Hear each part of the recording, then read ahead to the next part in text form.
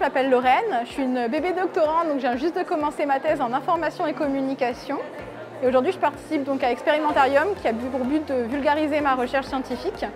Et je travaille donc sur euh, le racisme, qui est donc un biais humain dans l'intelligence artificielle, qui est une machine qui est codée à partir de 1 et de 0. Eh ben, du coup, je m'appelle Bastien, je suis doctorant en troisième année en chimie des matériaux. Et euh, le travail de ma thèse, c'est de créer des nouveaux matériaux qui peuvent servir plus tard pour purifier des gaz. Alors, je m'appelle Manitra, je suis euh, jeune chercheur en économie à l'Université de La Réunion. Je travaille sur un phénomène qui s'appelle la précarité énergétique en milieu euh, tropical.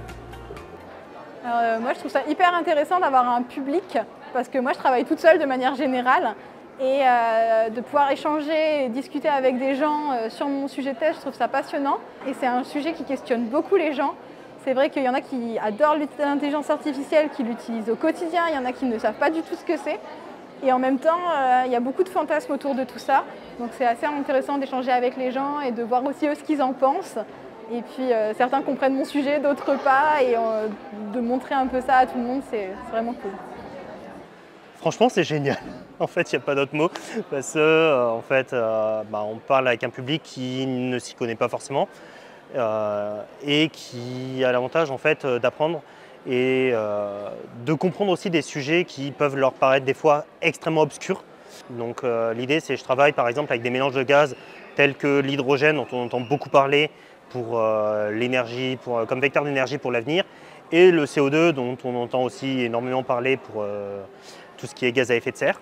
Et donc l'idée c'est de réussir à faire des gros filtres qui permettraient d'un côté de purifier de l'hydrogène et de l'autre côté de venir stocker du CO2 pour euh, en fait euh, réussir à avoir notre hydrogène pur et d'un autre côté un CO2 qui lui aussi est pur et enfermé dans un matériau pour euh, éviter de le relâcher dans l'atmosphère.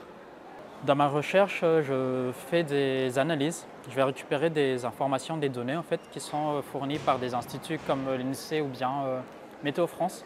Ce sont des données sur les logements, c'est-à-dire qu'on va chercher à savoir euh, quel équipement énergétique ils ont dans leur logement, combien de personnes composent le logement, la superficie du logement, également où est-ce qu'ils habitent, dans quelle commune par exemple. Et à partir de ces données-là, je peux savoir s'ils sont précaires énergétiques ou pas.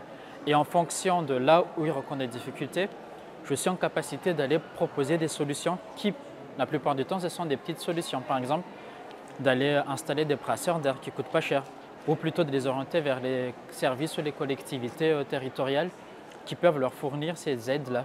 Ça peut être des aides financières comme le chèque énergie. Ça peut aussi être des solutions juste euh, un peu plus basiques, par exemple, d'éteindre la télé mais pas de me mettre en veille.